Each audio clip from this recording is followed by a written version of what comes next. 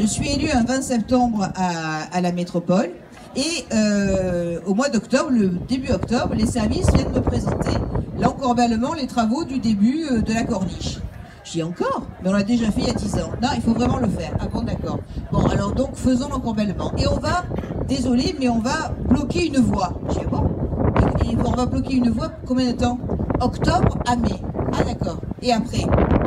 Après, on rend la circulation. Et au mois d'octobre suivant, on le fera par quart pour pouvoir finir, d'ici 2024, les Jeux Olympiques, une corniche complètement refaite. Et là, je leur dis, mais franchement, puisque vous bloquez une voie, si on mettait une piste cyclable Eh bien, ça a marché Donc voilà. Donc vous voyez, quand... euh, Mais il n'y a rien qui est facile. Il n'y a rien. Mais quand on a la volonté, c'est ça qui est important.